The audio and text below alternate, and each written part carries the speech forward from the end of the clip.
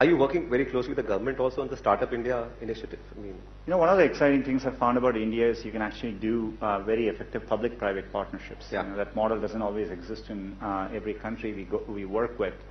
Uh, but I think, you know, we are uh, big supporters of the Digital India program and, uh, and, you know, we've done very successful partnerships. Uh, the Railways project, uh, this is in partnership between Google and Railtel. And that's why we've been able to bring Wi-Fi access to many, many places. And, you know, we're always looking to partner. If you look at Aadhaar and UPI and how, you know, we partner with the NPCI, uh, and, you know, we are working on digitizing payments. Uh, and so we, we tend to form these public-private partnerships, and I think they, they work very well.